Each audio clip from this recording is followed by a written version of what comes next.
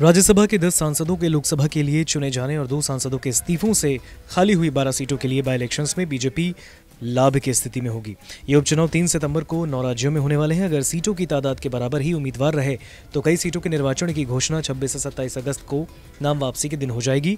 चुनाव आयोग ने राज्यसभा की खाली 12 सीटों के लिए चुनाव की घोषणा की है। इनमें 10 सीट वो है जो लोकसभा चुनाव जीतने के बाद राज्यसभा से इस्तीफे से खाली हुई। इनमें केंद्रीय मंत्री पीयूष गोयल, बीजेपी से सर्बानंद सोनेवाल बीजेपी, ज्योतिरादित्य सिंधिया बीजेपी के साथ, Kamakhya Prasad Tasa BJP, Misa Bharti RJD, Vivek Thakur BJP, Deepender Singh Hooda Congress Udayanraje Bhosale BJP K C Venugopal Congress और विप्लव कुमार देव बीजेपी शामिल हैं।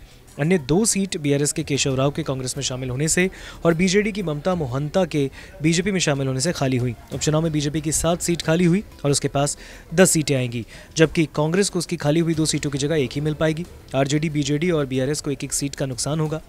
असम से दोनों सीट बीजेपी सांसदों की रिक्त हुई है, यानी खाली हुई है, और राज्य में बीजेपी सरकार होने से दोनों सीट भाजपा को मिलेंगी। बिहार में आरजेडी और बीजेपी की एक एक सीट खाली हुई है। राज्य में बीजेपी गठबंधन के सत्ता में होने से दोनों सीट उसके पास आएँगी। इनमें एक बीजेपी और दूसरा सहयोगी दल को जा सकती है। हरियाणा में एक सीट कांग्रेस की खाली हुई, लेकिन राज्य की सत्ता में बीजेपी के होने से इसे ही मिलेगी। मध्य प्रदेश में एक सीट बीजेपी की खाली हुई और वह सत्तारूढ़ बीजेपी के पास रहेगी।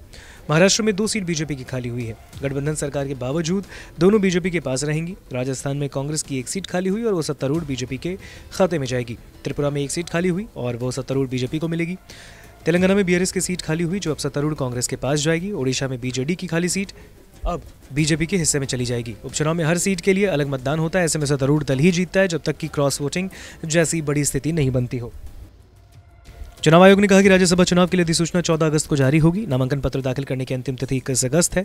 26 और 27 अगस्त नाम वापसी की तारीख है। हर राज्यसभा सीट के लिए तीन सितंबर को अलग अलग चुनाव होंगे और उसी दिन रिज़ल्ट भी घोषित कर दिए जाएँगे।